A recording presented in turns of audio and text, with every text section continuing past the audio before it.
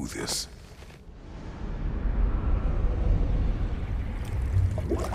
You remember this, Kratos. The memory is vivid. A familiar scene to any that know your legend. A man at the crossroads of a fateful decision. Aye, you've spoken of this, brother. The pact you made with Ares, to stave off the barbarian horde. The day I sold my soul to a god of war. Why show me this? Well, if I had to guess, probably to make you feel like the piece of shit you are. Is he necessary? He's no part of my design. He's either Valhalla's or yours. At least he hasn't replaced me again. Not yet, anyway. Seems a real charmer.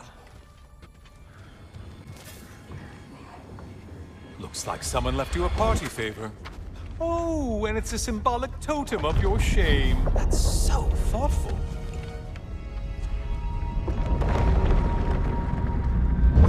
Ah, now you've done it. You're being judged. And we all know your past actions wouldn't pass muster with anybody. Why did you do it, Kratos? Why did you pledge yourself to Ares? I was ambitious.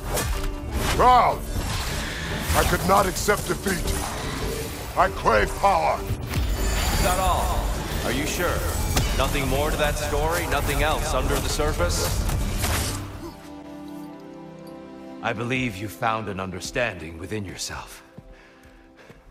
Shall we see? Pools. It's not only memories.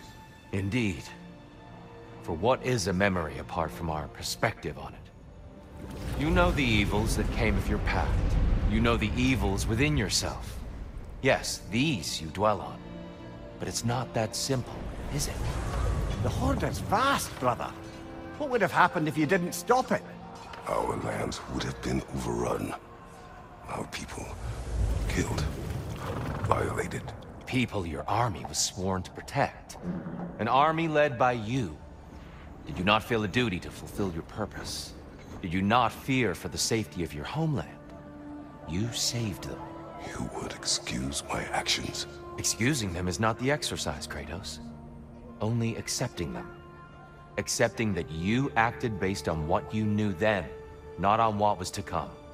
Your motivation and their consequences are far more complicated than you let yourself believe. Hmm. I think perhaps you have more to process.